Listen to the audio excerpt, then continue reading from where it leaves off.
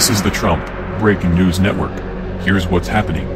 No way Trump mocks Obama for saying he could have beaten him if he were allowed to run again. By David Martosko. Donald Trump blasted Barack Obama on Monday for claiming he could have won a third term in the White House if he had been the Democratic nominee instead of Hillary Clinton.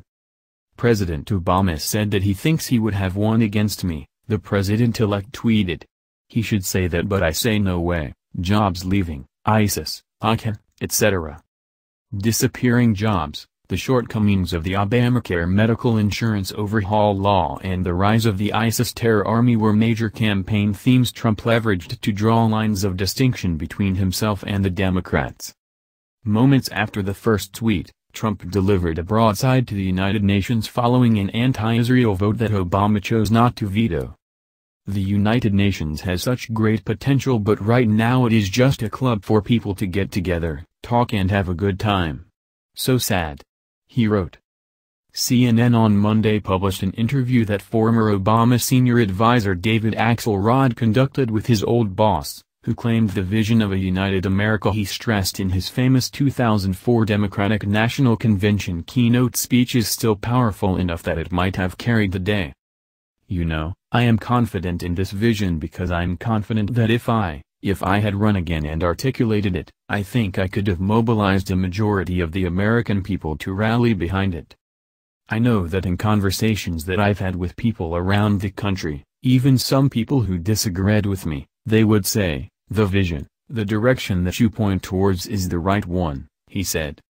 Obama claimed that Republicans including former Fox News Channel CEO Roger Ailes and Senate Majority Leader Mitch McConnell mobilized a backlash to this vision in order to beat Democrats up and down the ballot. Part of Trump's standard stump speech promised Americans that he would unite them as one people, under one God, saluting one American flag. Obama claimed that high ground for himself, saying the GOP proved it can just just throw sand in the gears and produce national disunity. He accused Republicans of believing that if we just say no, then that will puncture the balloon, that all this talk about hope and change and no red state and blue state is, is proven to be a mirage, a fantasy.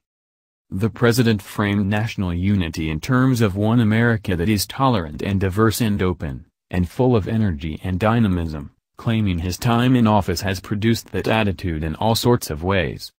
It manifests itself in communities all across the country. We see it in this younger generation that is smarter, more tolerant, more innovative, more creative, more entrepreneurial, would not even think about, you know, discriminating somebody against, for example, because of their sexual orientation, he said.